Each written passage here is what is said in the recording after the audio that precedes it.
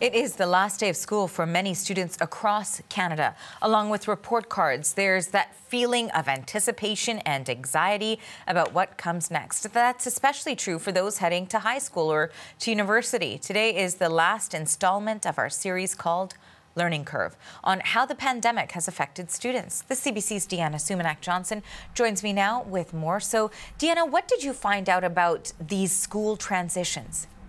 Well, Aarti, we know, we remember from our own school days that uh, starting out in a new school at an older uh, grade and a most more advanced level is always nerve-wracking, whether it's you're, you know, going into high school or heading to university. But I think we can all agree that we had nothing compared to what these kids have gone through, the pandemic kids of the last few years. So uh, for the graduates of this year, at least they get to have in-person graduations in many cases. They get to see their teachers, their classmates, to see them off. So they have this important milestone. However, they still have a lot of anxiety, we learned, about socialization and about being academically behind. I mean, uh, more than two years of their schooling have been appended by the pandemic, all the switches between online and in person. Uh, we got a chance to speak to Professor Lance McCready at uh, University of Toronto. Uh, he is a professor at uh, in the Department of Education, but he also advises new students who are coming into University of Toronto, which of course is a huge institution. He helps them out with these transitions and integrations. Here's what he had to say about why it's particularly hard for the students this year. So there, a lot of students weren't really sure what to expect. So for instance, you know, in our admissions this year, a lot of students were asking, okay, is this going to be in person or is it going to be online? Or what is it going to be like? Or is it going to be hybrid?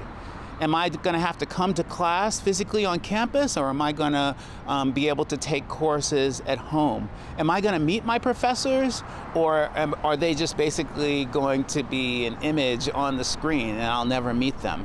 Am I going to have friends?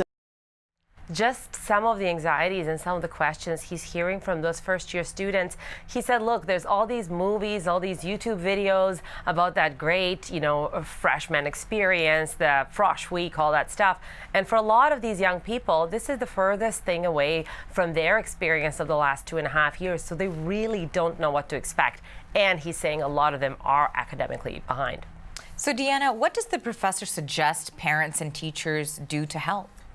You know, when we began this series, another expert, uh, speaking of learning loss, said it took us two years to get into this mess. It's going to take us at least that long to get out of it. That's pretty much what Professor McCready suggests as well. He said, you know, be very, very patient uh, with teenagers, especially with young people.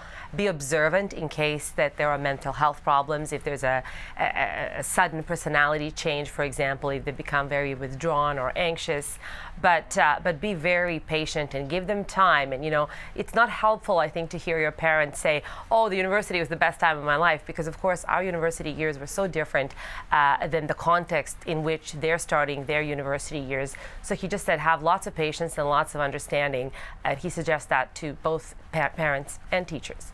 Thanks for this, Deanna. That is the CBC's Deanna Sumanac Johnson in Toronto.